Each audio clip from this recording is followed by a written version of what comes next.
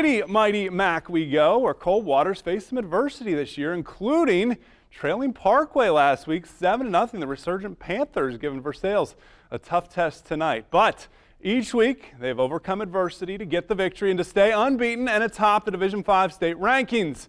Cavs making the trip to Minster to face a Wildcat team that has lost four straight, but to four opponents with a combined record of 17 and 7 through six weeks. Formidable foes for sure. Homecoming for Minster down 3 0 second quarter. Jared Hillsman is getting them right back in it. Keeps it.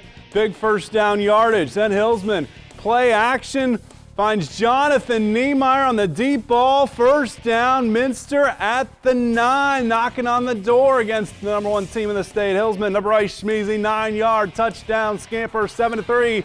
Minster on top. Dylan Toby trying to lead the Cavs back. Zach Klosterman is his target. Nice catch here. Across the 50 for a first down.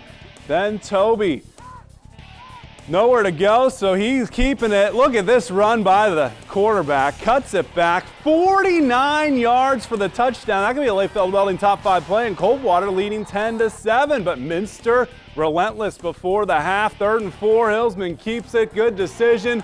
First down up near midfield.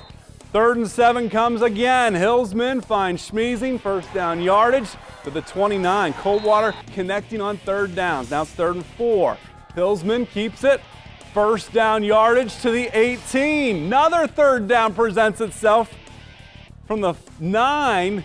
First down run for Hillsman to the five yard line with 11 seconds left in the half. Hillsman keeps it. Touchdown. Minster.